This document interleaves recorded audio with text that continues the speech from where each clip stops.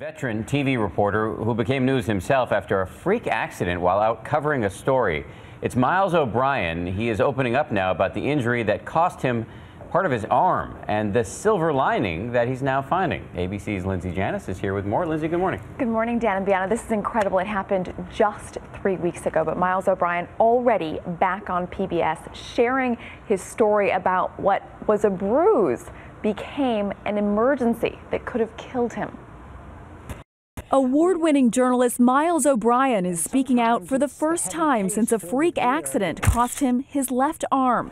It's not something I would uh, wish on anybody. He had just finished filming a story on Japan's infamous Fukushima nuclear plant and was on his next assignment in the Philippines, tweeting this photo of himself getting a haircut in Manila. Just days later, a case carrying heavy camera equipment fell on his arm.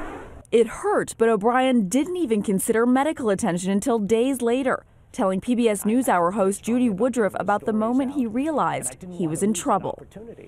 It began as a bruise, and it's just got a lot worse after about a day or so, and uh, the pain got worse. He says doctors knew immediately what they were dealing with acute compartment syndrome. I had literally had to wiki it with my phone because I had never heard of compartment syndrome. Muscles and veins doesn't expand, and if there's some sort of inflammation or something that uh, causes swelling inside there, the pressure builds and there's no place for the blood to go. When an emergency operation went bad, doctors say the only option was partial amputation. They told me going in, though, that you know if things don't go well, you might lose your arm. O'Brien describing the excruciating aftermath.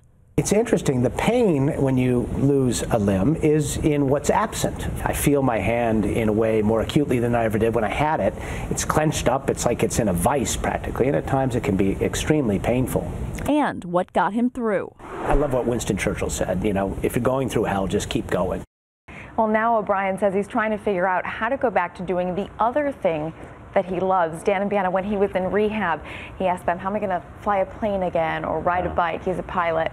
They said, don't worry, we have attachments for all of that. And mm -hmm. part of the reason is because, sadly, all the soldiers coming back from the wars, right. that yeah. technology's moved on a lot. Well, he is a great reporter, and we wish him the best, and we hope he continues Very to report. brave. Can't believe that just happened really three brave. weeks ago. He's got yeah. a great attitude about this. All right, Lindsay, thank Thanks, you. Lindsay, appreciate it.